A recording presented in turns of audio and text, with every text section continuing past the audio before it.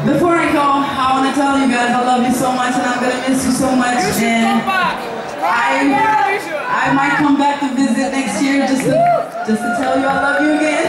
I'll never forget this experience. It's been the greatest.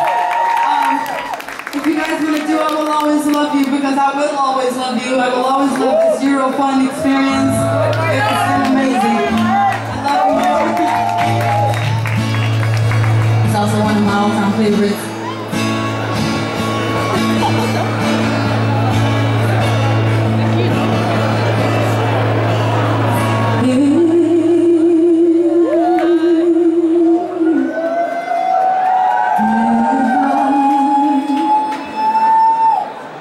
شهر